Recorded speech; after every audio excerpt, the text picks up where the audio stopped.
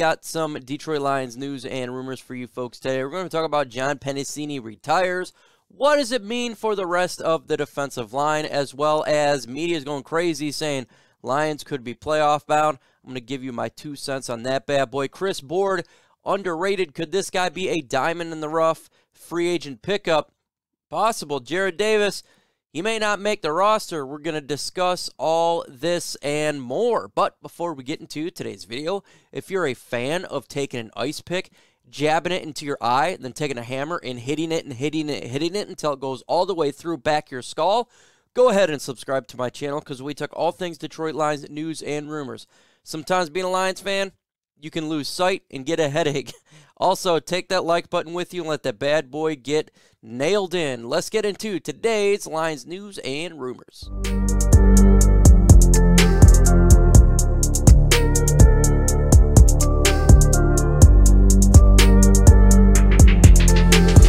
A lot of media outlets, a lot of personnel that deals with the Detroit Lions is already giving our GM, Brad Holmes, a top 10 nod of GM in the NFL, thinking this guy is one of the best general managers in the NFL. And look, I'm not going to have an issue with that because he's done a phenomenal job regarding getting talent acquisition from drafts in the last two years. He's done a good job sticking with his plan, building through the draft. And you know how much I enjoy the idea of building through the draft because that's how you build a long sustained roster if you do it correctly.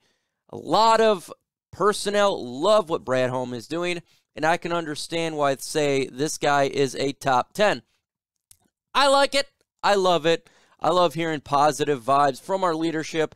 And of course, I'm going to say, ah, I agree with that one because I really like what Brad Holmes has done regarding the draft and I love how he's building this roster. But that's just me. Do you believe that the Detroit Lions are playoff bound with Brad Holmes as GM? Brad Holmes specifically bringing talent to this Lions roster. Let me know in the comment section below. What do you think on this? Are the Lions playoff bound? Y for yes and N no. John Penisini, Lions interior defensive lineman, retired over the weekend, and a lot of people would like to know why. Well, he didn't show up for mandatory minicamp. Last year, Penisini had an injury. He's dealing with some golf ball issues on his shoulder and on his area there where he was going and working through a lot of injury. From what I'm hearing, his retirement is more than likely dealing with injuries he has sustained with his time not just probably through the NFL, but you know throughout his whole career playing football. Remember, being a individual that plays a physical sport like that, your body gets beaten up throughout the whole time.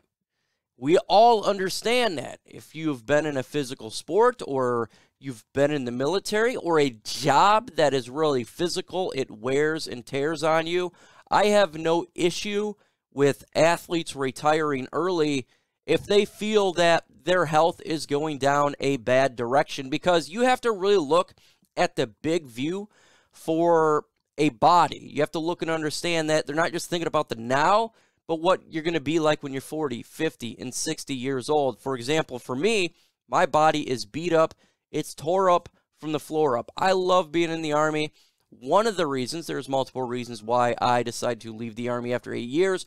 One of those reasons because my body could not sustain the physicality of the Army anymore. Getting injured, getting wrecked, back hurt, multiple surgeries. At some point, your body breaks down and you have to look towards the future.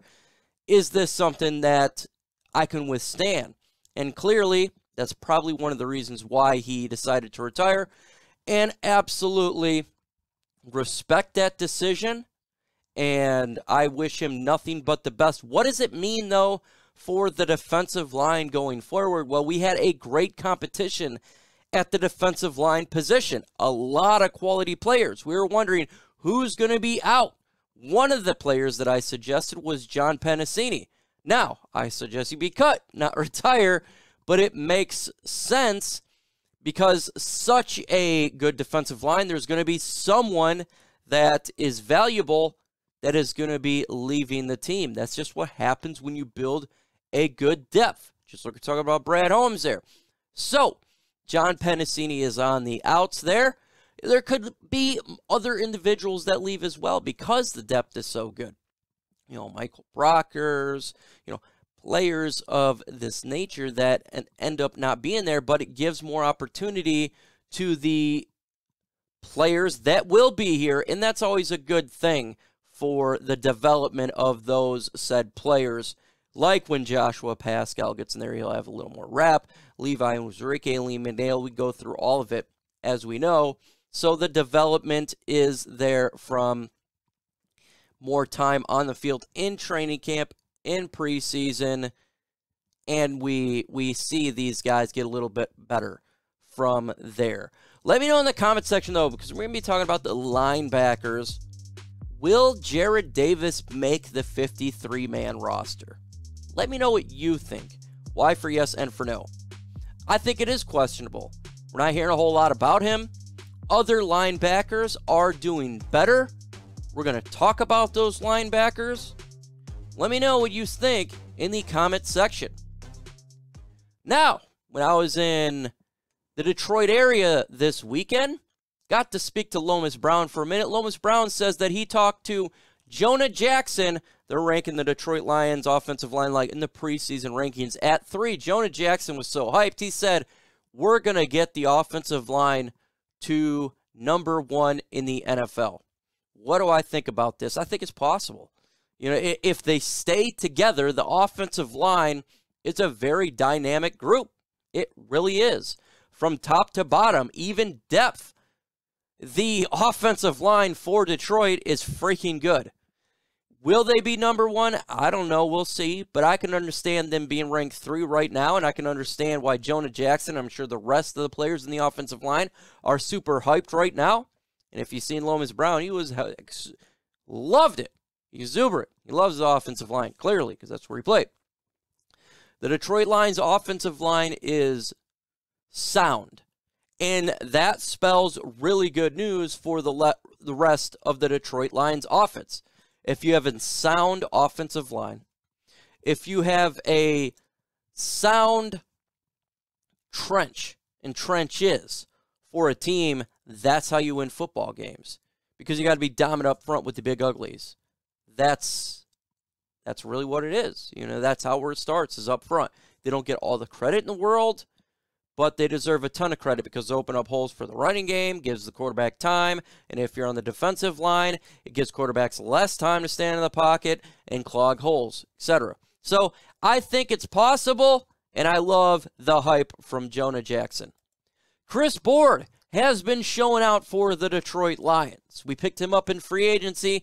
We kind of just thought, eh, he's a player right now that, that could be special teams in depth. But he's been showing out in OTAs, showed out in minicamp. Yes, we're in pajamas right now, no doubt. But it's good to see him show out. We need to have players that you don't expect elevate their game. And especially with the Lions linebacking corps right now, where there's a lot of question marks. Who's going to man that bad boy? Right now, Chris Board has done a really good job. I love seeing it, but I still want to see in pads.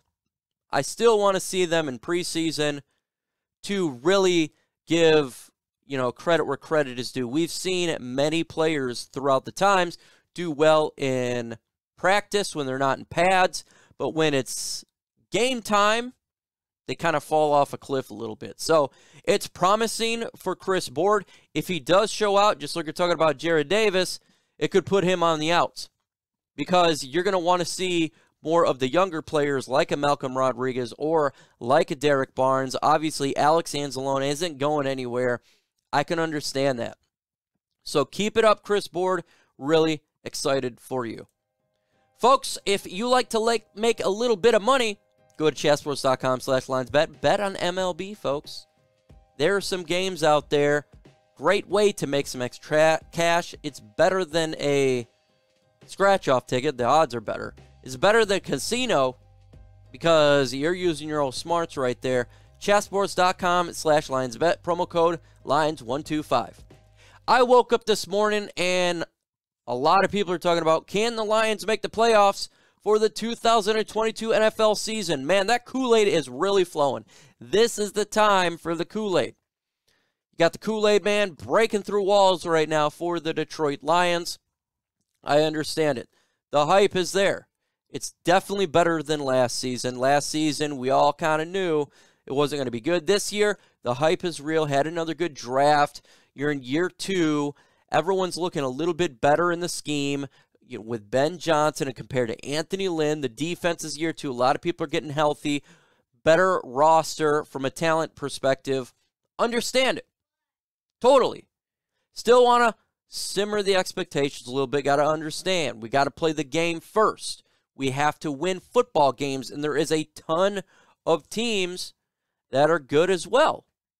You look through the NFC West. The whole NFC West is good right now, except for Seattle Seahawks. That's three teams right there. Dallas Cowboys pretty good. Philadelphia Eagles are pretty good. Green Bay Packers are pretty good. Minnesota Vikings are pretty good. A lot of good teams in the NFC. It's not like the AFC where it's completely stacked, but still some good teams. And for the Lions, they would have to have a better record than those teams. So simmer the expectations a little bit. Let's see the wins accumulate. You know, if you think the Lions are going to make the playoffs, hey, more power to you. You have the right to think what you want. If you're a, a person who thinks the Lions are going to be absolutely cheeks and go 0 17, you have the right to think what you want. It's all about the Detroit Lions themselves changing their perspective and them winning the games and them doing the work. It's not our job to do the work, it's their job to do the work. Folks, in the upcoming videos, we got many videos dropping. Tuesday, Wednesday, Thursday, One Pride podcast. You know it all. Every single time on my channel, 6:30 p.m. Drop videos on LNU as well, so check LNU out. Make sure you follow me on social media sites. With that said, folks, adios.